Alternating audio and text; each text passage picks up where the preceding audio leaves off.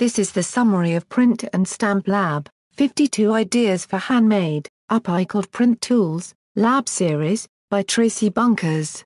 Artist and popular workshop instructor Traci Bunkers can turn just about anything into an interesting stamp, printing block, or tool.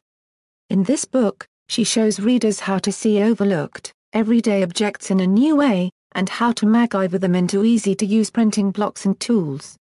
Readers learn to create 52 print blocks and stamp tools, all from inexpensive, ordinary, and unexpected materials, string, spools, band-aids, flip-flops, earplugs, rubber bands, school erasers, and a slew of other repurposed and upcycled items.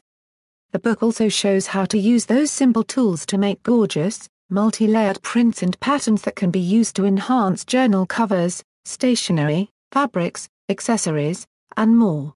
For more hobbies and home book reviews visit www.homebookmix.com.